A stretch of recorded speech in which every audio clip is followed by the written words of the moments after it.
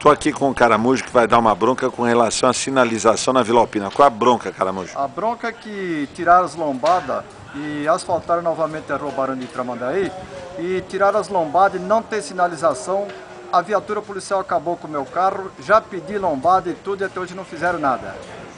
Lá na Barão de Tramandaí. A Rua Barão de Tramandaí. Agora, existem outras ruas que foram recapeadas aqui na região e também não foram sinalizadas ainda, não é? É, a Catuaba, a Rua Justiniano, que tem travessia de criança para ir para a escola e até agora não fizeram a demarcação para as crianças atravessar. Tem que fazer a sinalização, horizontal. Isso. Nessas ruas não tem. Não tem nenhuma sinalização. E lá onde você mora, que é na Barão de Tramandaí, Na Barão de Tramandaí. você estava saindo da garagem, Estava entrando na garagem, Entrando na a garagem. viatura policial em alta velocidade me jogou no meio da rua.